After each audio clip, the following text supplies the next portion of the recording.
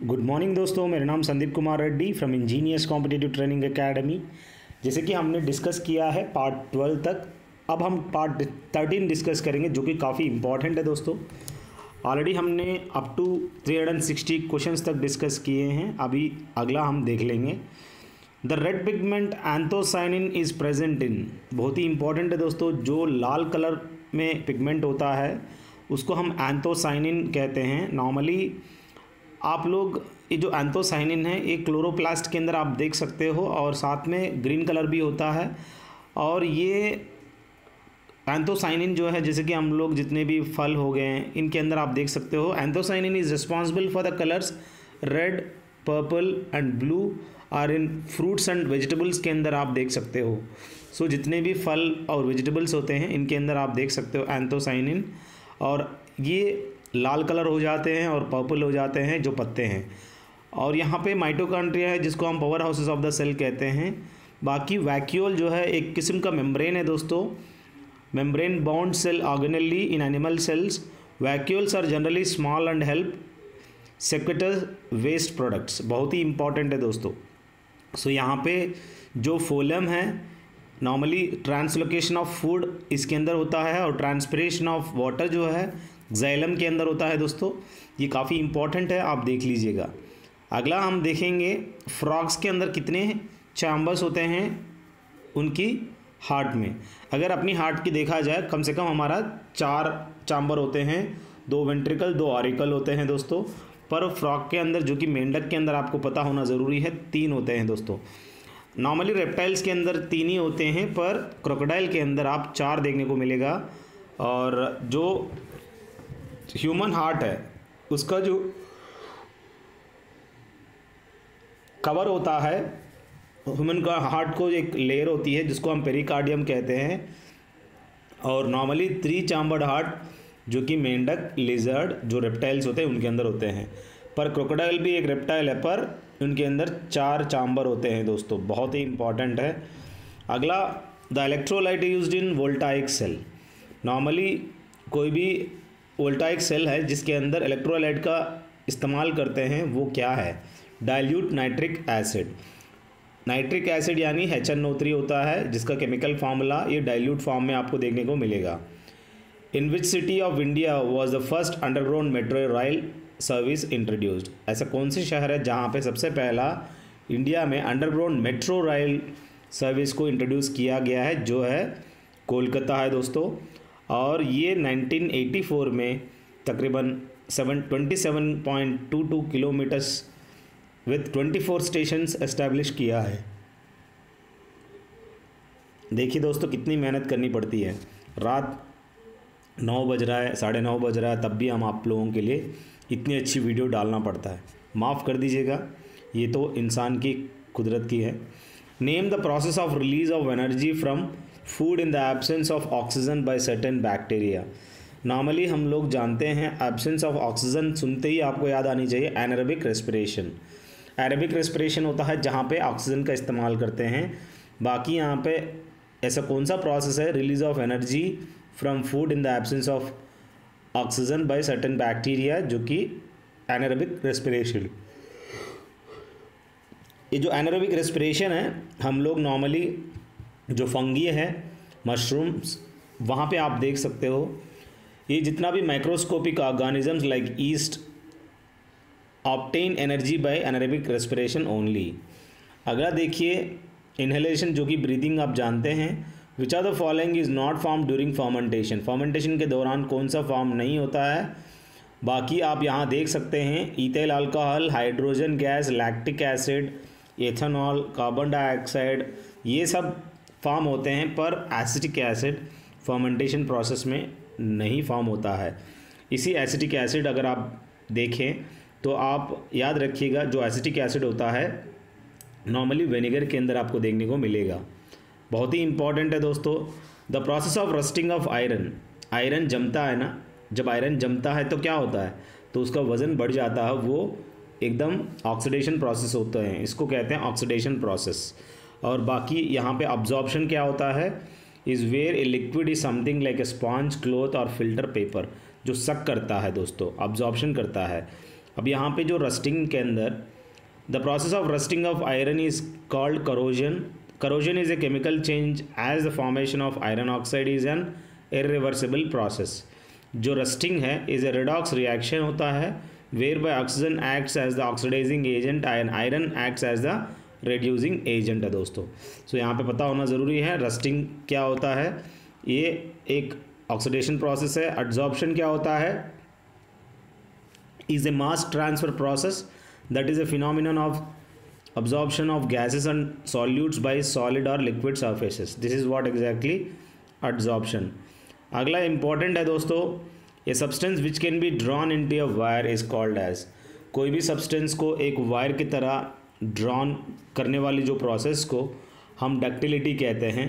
Normally ductility जो अपनी ornaments होते हैं, वो किस्म का डक्टिलिटी प्रोसेस है। मैलेबिलिटी यानी जो कि that the material can be hammered into very thin sheets by without breaking जो कि शेप्स बनाते हैं।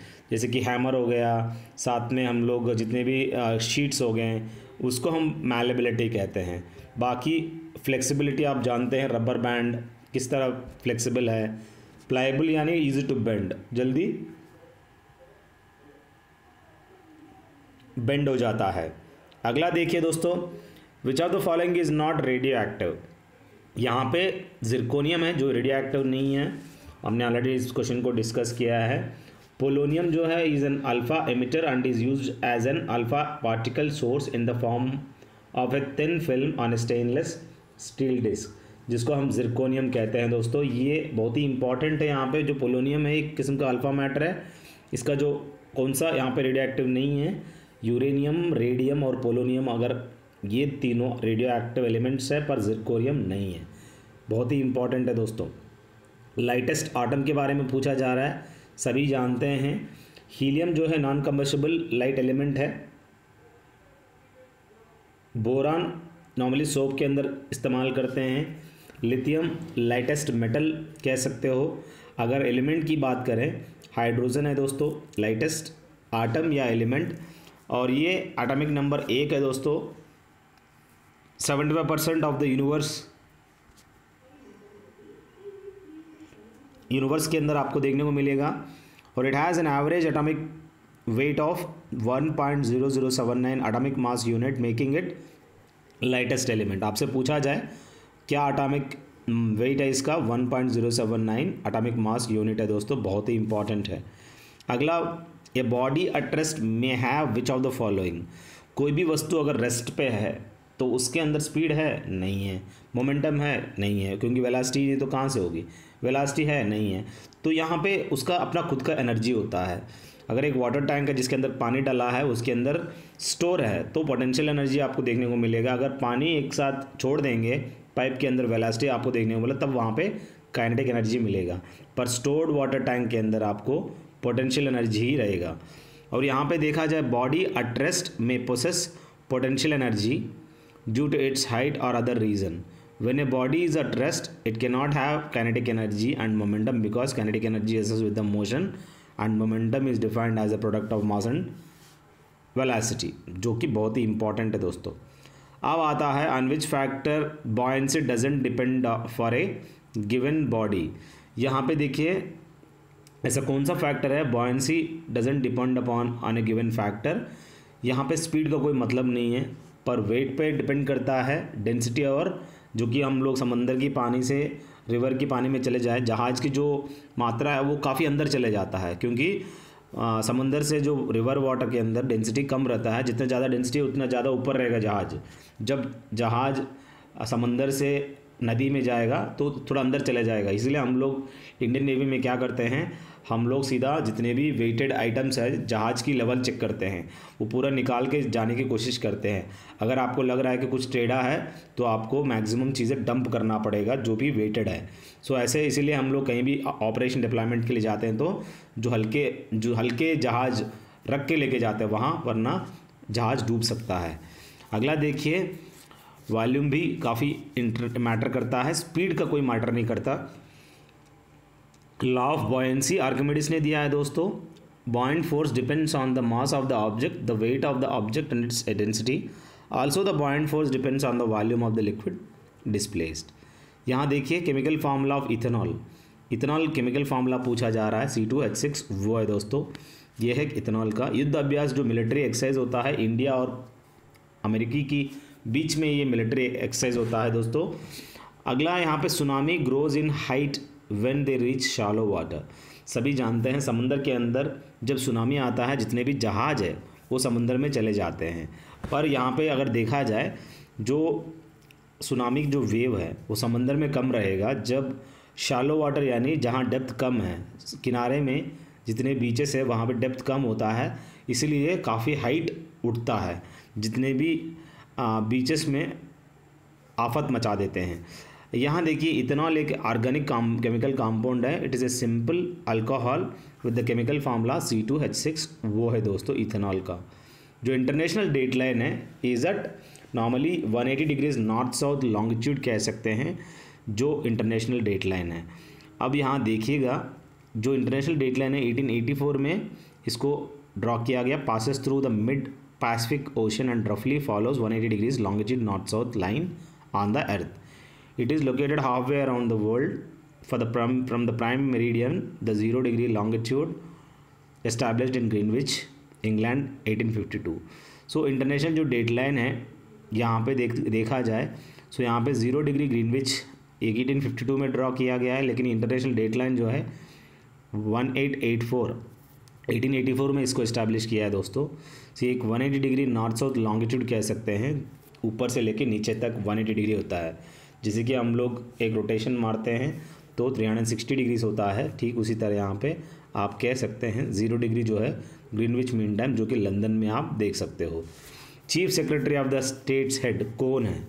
जो कि पब्लिक सर्विसेज़ कह सकते हैं chief secretary of the state heads बहुत ही इंपॉर्टेंट है दोस्तों। सो so, यहाँ पे देखा जाए chief secretaries are members of the Indian administrative service who are the administrative head of state government है दोस्तों। सो so, यहाँ पे जो भी चीफ सेक्रेटरीज है वो आईएएस लोग हैं वो। They are administrative head of state governments यहाँ पे पूछा गया है chief secretary of state heads क्या है जो कि पब्लिक सर्विसेज़ है दोस्तों। अगला important which is the first feature film made in Hindi ऐसा कौन सा मूवी है? सबसे पहला फीचर फ़िल्म है जो हिंदी में बनाया राजा हरिश्चंद्र। आपको पता होना ज़रूरी है, दादा साहब फाल्के अवार्ड जो भी दिया जाता है, ये राजा हरिश्चंद्र मूवी डायरेक्ट किया था उसने, सबसे पहला। आलम अरा आर्नामेंट ऑफ़ द वर्ल्ड इसका मतलब होता है 1931 में Indian Hindustani language historical fantasy film है दोस्तों, और प्रोड्यूस्ड बाय अर्देशिर ईरानी। देवदास सभी जानते हैं 2002 में Indian Hindi language epic romantic drama film directed by Sanjay Leela Bhansali. So ये 2002 में इसको शाहरुख खान इसका एक्टर है दोस्तों। और देख सकते हो उसमें हीरोइन जो है ऐश्वर्या राय और माधुरी दीक्षित है दोस्तों, जो आपको पता होना ज़रूरी है। और मदर इंडिया ऐसा मूवी निकाला है, जो कि काफ़ी इम्पोर्टेंट मूवी है, नरगिस दत्त, जिसका काफ़ी इम्पोर्टेंट एक्ट्रेस है संजय दत्त की मदर है। समझौता जो एक्सप्रेस है, ये अटारी और लाहौर के बीच में ये समझौता रेल आप देख सकते हो। दिल्ली और लाहौर बस जो ऑफिशियली इसको इनाग्रेट किया है, वो है सदा ए शरद। सो सदा ए सरहद ये जो बस है इंडिया और पाकिस्तान के बीच में ये जाता है। दिल्ली और लाहौर के बीच में ये बस चलती है। सो बहुत ही इंपॉर्टेंट है दोस्तों, समझौता जो एक्सप्रेस है लाहौर और अटारी। इस जगह आप देख सकते हो। सियाचिन एक किस्म का ग्लेशियर है दोस्तों, सभी जानते हैं। अनाई मुड़ी साउथ इंडिया में सबसे हाईएस्ट माउंटेन। रिवर में देखा जाए, सबसे लंबी गंगा रिवर है दोस्तों, लूनी रिवर, जो कि साल्टेस्ट रिवर इन इंडिया। और यहाँ पे लार्जेस्ट वैली की बात करें, कांगड़ा वैली जो कि हिमाचल में आप देख सकते हैं, काफ़ी इंपॉर्टेंट सवाल है दोस्तों। आपसे पूछा जाएगा लार्जेस्ट वैली कौन सा है? कांगड़ा वैली जो कि हिमाचल में है। या ऐसा पूछा जाएगा कि जो कांगड़ा वैली सबसे लार्जेस्ट है, ये किस स्टेट के अंदर है? तो आपको बताना हिमाचल प्रदेश। पीर पंजाल रेलवे टनल जो है, जिसको हम जम्मू कश्मीर टनल भी जानते हैं लॉन्गेस्ट टनल है दोस्तों 11 किलोमीटर का है, और जिसको हम पीर पंजाल भी कहते हैं रन थ्रू द हिमालयास बहुत ही इंपॉर्टेंट है दोस्तों। अब बात आता है दोस्तों the place where the chromatids are joint together ऐसे कौन सी जगह है जहाँ पे chromatids are join together you will see like this वो ज्वाइन हो जाते हैं, जिसको हम सेंट्रोमेरी कहते हैं। और यहाँ पे sister chromatids are pairs of identical copies of DNA joined at a point called centromere इस पॉइंट को हम लोग क्या कहते हैं? सेंट्रोमेरी कहते हैं दोस्तों। अब बात आता है दोस्तों nucleus helps in protein synthesis and production of the ribosome in the cells क्या हेल्प करता है? न्यूक्लियस हेल्प करता है in protein synthesis and production of the ribosome in the cells बाकी सेल वॉल सिर्फ़ प्लांट में देखने को मिलता है एनिमल में नहीं है। और न्यूक्लियस तो आप सभी जानते हैं सेंटर होता है।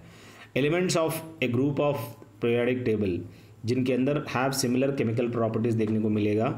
और यहाँ पे देखिए chemical elements have atoms with identical valence electron counts and identical valence vacancy counts बहुत ही इंपॉर्टेंट है। The elements in a given group process similar electronic configuration as the number of electrons in the respective outermost shells is the same so they have similar physical and chemical properties बहुत ही important है दोस्तों। Similar electronic configuration देखने को मिलेगा। और यहाँ पे जो एलिमेंट्स है पीरियाडिक टेबल को बताने वाला एटॉमिक वेट के हिसाब से जो भी है, और दिमित्री मंडलिफ है दोस्तों और विलियम रामजे सभी जानते हैं, विलियम रामजे कौन है?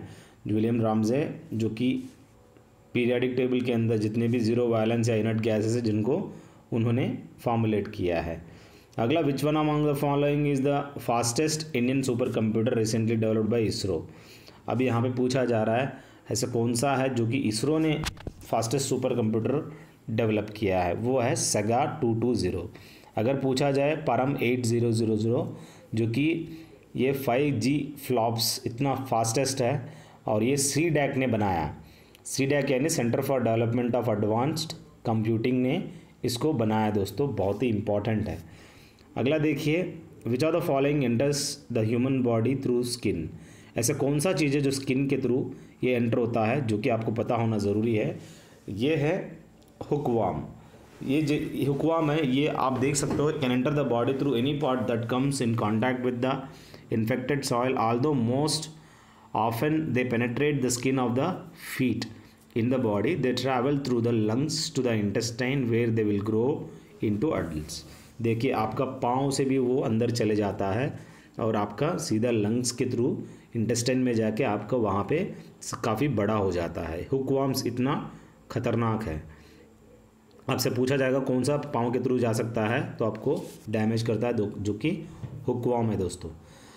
ऐसा कौन सा सब्सटेंस है has the highest heat capacity पानी जो है सबसे ज़्यादा हीट कैपेसिटी आप देख सकते हो।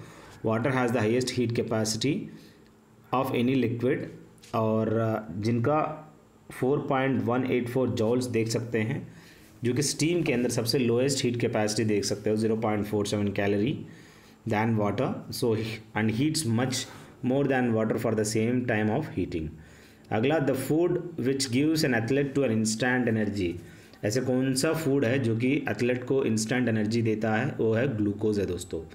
बाकी आप जानते हैं कार्बोहाइड्रेट्स जो कि काफ़ी essential as the most immediate and efficient fuel to the muscles और protein digestion starts in the stomach जो कि प्रोटीन डाइजेशन जो है सभी जानते हैं it starts in the stomach enzyme एक किस्म का प्रोटीन है दोस्तों और नॉर्मली सबसे ज़्यादा प्रोटीन जो है फ़िश के अंदर देखने को मिलता है। और hair finger nails hooves they are all made of what proteins rich source of protein क्या है दोस्तों? सोयाबीन के अंदर आप देख सकते हो। Protein present in the skin जो कि सबसे इंपॉर्टेंट है। यहाँ प्रोटीन पूछा जा रहा है स्किन के अंदर। कैराटिन होता है। अगर किस कलर ऑफ़ द स्किन अगर ज़्यादा मेलानिन है तो colour of the skin black रहेगा। कम मेलानिन है तो वो वाइट रह जाएगा। अब यहाँ पे जो इंस्टेंट एनर्जी एथलेट को जो देता है वो ग्लूकोज है दोस्तों। अब बात आता है सिंगिंग बर्ड ऑफ़ इंडिया। कोयल, यानी कुकू सिंगिंग बर्ड है दोस्तों। She brings us good tidings she tells us no lies normally hornbill festival hornbill एक पक्षी है जो कि नागालैंड में काफ़ी फ़ेमस है। और यहाँ पे पैरट तो आप सभी जानते हैं, और ये बडगी भी कहते हैं parakeet an excellent talking bird भी कह सकते हो। यहाँ पे जो सिंगिंग बर्ड है, ये कुकू है टॉकिंग बर्ड है पैरट है। Nightingale India nightingale of India किसको कहते हैं? सरोजनी नायडू हमिंग बर्ड जो कि स्मॉलेस्ट होता है, और it can fly backwards also बहुत ही इंपॉर्टेंट है। अगला the component in human beings that doesn't change with their age ऐसा कौन सा कॉम्पोनेंट है ह्यूमन बींग के अंदर, जो चेंज नहीं होता एज के साथ? वो है डी एन ए यानी deoxyribonucleic acid अब बात आता है दोस्तों, कितने भी साल हो जाए डीएनए कभी बदलता नहीं है। बट बोर्ड डेंसिटी अगर कम हो जाता है, आपको ओस्टियोपोरोसिस हो जाता है, जिसके अंदर पूरा उसका फ्लेक्सिबल हो जाता है, बोन टूट जाता है। और यहाँ पे देखिएगा रिकमनेंट डीएनए टेक्नोलॉजी, एक ऐसा एक टेक्नोलॉजी है, जो कि breaking of to DNA, doctor Lalji Singh DNA lab Hyderabad, जो कि अनदर चंडीगढ़ में है। दो इस तरह का डीएनए टेक्नोलॉजी रिलेटेड है। एक हैदराबाद में है, लालजी सिंह डीएनए लैब, और दूसरा चंडीगढ़ में है। और हेपेटाइटिस बी जो है caused by DNA virus that is HBV कहते हैं। जेनेटिक म्यूटेशन जो अक्कर होता है, वो डीएनए के अंदर अक्कर होता है। जेनेटिक म्यूटेशन आपसे पूछा जाएगा genetic mutation occurs in that is DNA the technique was helped to solve many mysteries involving murders robberies and rapes जिसको हम डीएनए फिंगरप्रिंटिंग कहते हैं। बहुत ही इंपॉर्टेंट है दोस्तों। आप मुझे कमेंट सेक्शन में बताएँगे डैक्टिलोग्राफी क्या होता है? डैक्टिलोग्राफी इसका मतलब मुझे कमेंट सेक्शन में बताइएगा। अगला the speed of the ship measure करने के लिए किसमें मेजर करते हैं, जो कि स्पीड ऑफ़ द शिप बहुत ही इंपॉर्टेंट है दोस्तों। जहाज़ की जो स्पीड है, वो मेजर करते हैं नॉट्स के अंदर। अगर वो डिस्टेंस जो कि सी डिस्टेंस मेजर करनी है नॉटिकल माइल्स में मेजर करते हैं थर्टी नॉट्स फोर्टी नॉट्स करके कहते हैं, जितना फास्ट जहाज़ जाएगा, उतना ज़्यादा नॉट्स रहेगा।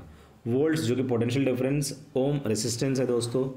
अब आप लोगों को कन्फ्यूज़न मिलेगा नॉटिकल माइल और नॉट्स में। नॉटिकल माइल एक डिस्टेंस के लिए होता है knots speed of the ship sound travels less speed in air fast in steel sound का जो स्पीड है यहाँ पे देखिएगा स्टील के अंदर 5130 मीटर पर सेकंड आप देख सकते हो सबसे ज़्यादा। और नॉर्मली 332 मीटर पर सेकेंड होता है, जो कि एटमॉस्फेयर में, हवा में। एनिमोमीटर विंड स्पीड मेजर करने के लिए होता है स्पीडोमीटर या odometer speed of the velocity of the vehicle tachometer revolution measure करने के लिए एरोप्लेन स्पीड मेजर करने के लिए इस्तेमाल करते हैं। ऐसा कौन सी आर्गान के अंदर gall bladder is located normally ये लिवर के पीछे छुपा रहता है। Gall bladder is a small pouch that sits just under the liver the gall bladder stores bile produced by the liver अब यहाँ पे देखिए, सबसे बड़ा ग्लैंड लिवर है दोस्तों। अगर सबसे बड़ा एंडोक्राइन ग्लैंड बोलता है पैंक्रियास किडनी प्यूरिफाई करता है ब्लड को स्मॉल इंटेस्टाइन के अंदर डाइजेशन आपको देखने को मिलेगा। अब बात आता है दोस्तों mosquito causing dengue fever bite during day time so यहाँ पे जो डेंगू फीवर होता है, आप सभी जानते हैं, ये एक मस्किटो काटता है डे टाइम के अंदर। These mosquitoes are active mostly 2 hours after sunrise and several hours before sunset. Hence, they primarily bite during the day. Aedes aegypti mosquito वो होता है that can bite you without being noticed as they approach from behind and bites on the ankles and elbows. Very important दोस्तों. So Aedes aegypti जो मच्छर है ये day time में आप देख सकते हो और फीमेल एनापिलिस आप जानते हैं जो कि मलेरियल एक मच्छर है जो कि आपको काटने से मलेरिया हो जाता है। अब इंटरनल कंबशन इंजन बहुत ही इंपॉर्टेंट है दोस्तों। It is use in normally rockets के अंदर इस्तेमाल करते हैं जेट एरोप्लेन्स के अंदर ऑटोमोबाइल्स के अंदर, सभी के अंदर इंटरनल कंबशन इंजन का इस्तेमाल करते हैं।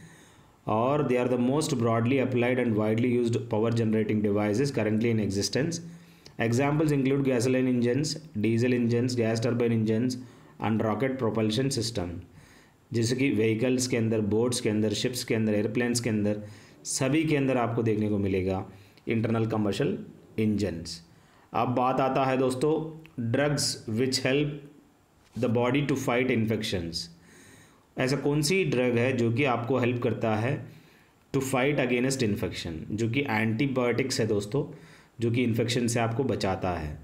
और बाकी यहाँ पे एंटी हाइपरटेंसिव क्या है? हाइपरटेंसिव यानी आपको ऐसा ड्रग है दोस्तों, जो कि हाइपरटेंशन को कम करने के लिए। एंटी डिप्रेसेंट को, यानी जो कि आपको एंग्जाइटी या डिप्रेशन इन सबको कम करने के लिए एंटी डिप्रेसेंट का मेडिसिन लेना पड़ता है। अब यहाँ देखिएगा फाइट इन्फेक्शन बोल रहा है तो एंटीबायोटिक्स है दोस्तों। पेंसिलिन और एम्पीसिलिन ये सब एंटीबायोटिक्स है। अलेक्जेंडर फ्लेमिंग ने खोज किया था। और यहाँ पे एनाल्जेसिक जो कि पैरासीटामॉल होता है, एक किस्म का एनाल्जेसिक है दोस्तों।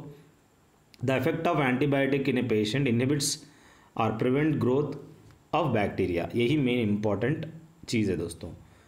Which mirror shows lateral inversion of light ऐसा कौन सा मिरर है जो कि लैटरल इन्वर्जन ऑफ़ लाइट देखने को मिलेगा?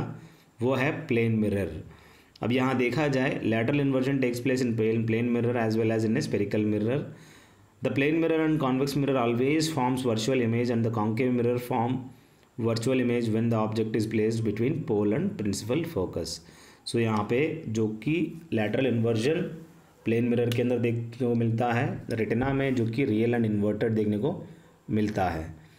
What is a electric charge of a neutron जो कि इलेक्ट्रिक चार्ज एकदम ज़ीरो होता है और प्रोटॉन का पॉजिटिव वन होता है और 1.66 point six six into ten to power of minus twenty four grams इसका वन एटॉमिक मास यूनिट है दोस्तों। प्रोटॉन पॉजिटिव चार्ज कैरी करता है तो इलेक्ट्रॉन जो कि नेगेटिव चार्ज कैरी करता है। रेड बॉल लाल क्यों दिखता है? क्योंकि वो रिफ्लेक्ट करता है रेड को। It contains colorants that absorb all of the colors of light except red. The red light bounces back of the ball and back into our eyes, causing us to perceive the ball as red. That means the ball is actually all of the other colors present in the light source except red.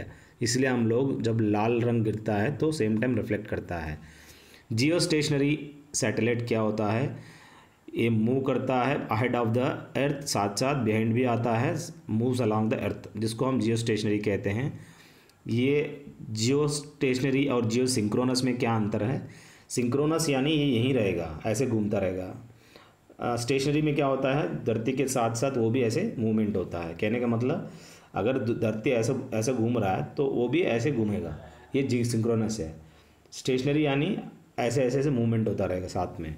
तो ये साथ साथ आगे भी आता है, पीछे भी आता है और साथ में घूमता रहता है। और बात आता है दोस्तों, यहाँ पे geostationary satellite is an earth orbiting satellite है, जो कि thirty five thousand eight hundred kilometres दूर में आप देखने को मिलता है। It revolve in the same direction of the earth जो कि वेस्ट टू ईस्ट रिवॉल्व करता है। जो टीवी वेव्स है, जिनको हम रेडियो वेव्स के नाम पे जाना जाते हैं, और यहाँ पे जो अल्ट्रा वायलेट रेज है, जो ओजोन लेयर को काट के समुद्र ये अपना सूरज से आते हैं। Radio waves are a type of electromagnetic radiation best known for their use in communication technology such as television mobile phone and radios जहाँ पे रेडियो वेव्स का इस्तेमाल करते हैं। कॉस्मिक रेस काफ़ी हाई एनर्जी प्रोटॉन्स है दोस्तों। And atomic nuclei that move through space at nearly the speed of light आप देख सकते हो कॉस्मिक रेस के अंदर। अब बात आता है which of the following is the softest यहाँ पे एल्यूमिनियम जो है काफ़ी सॉफ्टेस्ट है सोडियम जो एक मेटल है दोस्तों। आयरन जंग लग जाता है लिथियम लेटेस्ट मेटल है। यहाँ पे सोडियम टेट्रा बोरेट डीकाहाइड्रेट ये एक किस्म का बोराक्स कह सकते हैं। सोडियम क्लोराइड नमक, रॉक साल्ट, जिसको हम ब्राइन या साल्ट भी कहते हैं। सोडियम हाइड्रोक्साइड यानी कास्टिक सोडा होता है। सोडियम नाइट्रेट, जो कि चिली साल्ट पीटर कह सकते हो। सोडियम सल्फेट, डिकाहाइड्रेट, जो कि N S O four ten H two O जिसको हम गॉवर साल्ट के नाम पे भी जाना जाते हैं। ऐसा कौन सा मैमल है विच इज़ इंटेलिजेंट बहुत ही इंपॉर्टेंट क्वेश्चन है दोस्तों। डॉल्फिन है, जो कि काफ़ी इंटेलिजेंट मैमल है। बाकी डकबिल्ड प्लेटपस अंडे देता है। एक ऐसा मैमल है जो कि पानी के अंदर देखने को मिलेगा। और इसका डकबिल्ड प्लेटपस का रिसेंटली एक पार्क भी ओपन किया गया है। कौन सा देश में आप मुझे कमेंट करके बता सकते हैं। बैट एक किस्म का फ्लाइंग मैमल है। ब्लू वेल सबसे बड़ा मैमल है दोस्तों। बाकी उल्लू तो आप जानते हैं वन एटी डिग्रीज घूमता है अपना मुंडी। और कंपाउंड आइस जो कि एंट में होता है, अपना कंपाउंड आइस से पीछे भी देख सकती है। चीटी। हमिंग बर्ड जो कि फ्लाई करता है बैकवर्ड्स और स्मॉलेस्ट बर्ड है। ईमो बर्ड जो कि ऑस्ट्रिच से छोटा थोड़ा छोटा होता है। किंगफिशर भी आप जानते हैं फैल्कन फास्टेस्ट बर्ड है। सो so, मैक्सिमम हमने 40 क्वेश्चन डिस्कस किया है आई होप ये वीडियो आपको पसंद आया होगा। जितने भी सवाल हम डिस्कस कर रहे हैं काफ़ी इंपॉर्टेंट है दोस्तों। I hope this will help you a lot अगर आपको डाउट है तो आप मुझे कमेंट सेक्शन में कमेंट कर सकते हैं ताकि तुम्हारे डाउट्स क्लियर कर सको। Have a good day, have a great life.